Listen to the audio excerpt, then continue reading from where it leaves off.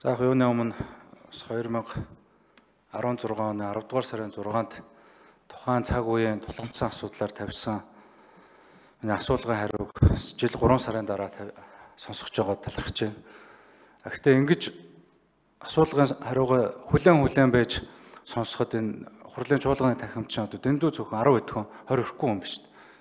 Эрцүүл 39-оор урж байгаа. Энэ дотор засгийн газраас нэг ч гişүүн байхгүй байна энэ нэг ялангуяа сангийн сайд байх хэрэгтэй байхгүй юу? Жишээлбэл би асуултаа тавих гал миний асуулагч гэсэн орцсон байгаа. Энэ Монгол банкны ерөнхийлөгч юу гэдэг гэхээр энэ эн чинь сангийн яамны ч асуудал, засгийн газрын ч асуудал гэж нэг усудаа хэлсэн энэ асуудлуудыг би өнөөдөр зориуд тодруулъя гэж сангийн сайдыг нь байлцуулж агаад хинэн альных нь асуудал юм гэхэлэр байхгүй. Засгийн газрын гишүүн нэг ч гишүүн байхгүй байхгүй юу?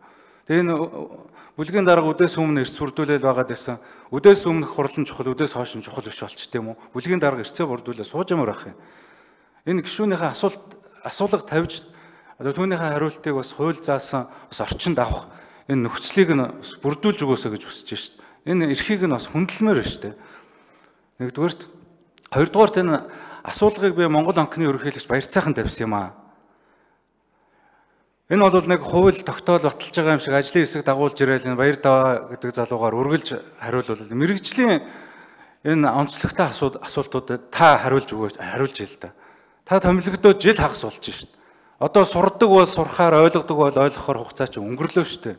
Удахгүй бүрээр их чинь тэгэл дуусна шít. Тэгээ таныг ямар чадвартай, ямар мэдлэгтэй байгаа юм ажлаа хийж чадж байгаа үгүй мүү гэдгийг бас ойлгохын тулд энэ асуулга тавиад баяр цайхан тавьсан бэ баяр даваа тавиагүй шүү дээ. Наад хүн чинь улсын хурлд ажлаа хариуцдаг хүн ч биш. Таны өмнө ажлаа хариуцдаг хүн та болохоор улсын хурлд ажлаа хариуцдаг хүн байхгүй юу? Тийм учраас энэ боломжийг ч гэсэн хурлын дарга та бас хангаж өгөөч. Миний хувьд бол бас сэтгэл дундуур шүү дээ. Та ч гэсэн өөрөө харж л байгаа. Засгийн газрын хурал дууссан юм шиг л нэг ч гişүү нэг цай байхгүй. Инх юм бол давхар дээлээ асуудлыг чи ярина шүү дээ. Би хэлж л байсан. За яг хоо давхар дээл бертаа авах хэрэгтэй юм байна. Засгийн газар ойлгож байна. Энэ явуулж байгаа тэр том реформын шинжтэй үйл ажиллагаанд нь парламентаас дэмжлэг авах хэрэгтэй юм байна. Ойлгож байна.